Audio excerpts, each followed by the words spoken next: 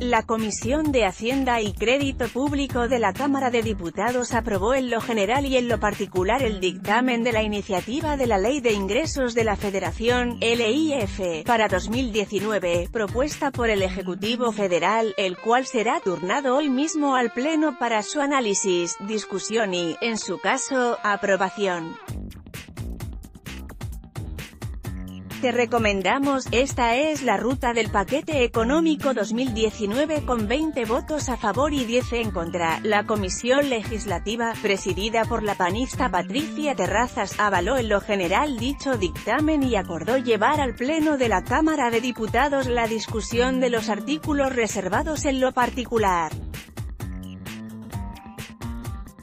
Ahora lee, ministros son los mejores pagados del mundo, AMLO de acuerdo con el dictamen aprobado, en la iniciativa de LIF 2019 el Ejecutivo Federal estima obtener un total de 5.814.291,7 millones de pesos por concepto de ingresos estimados.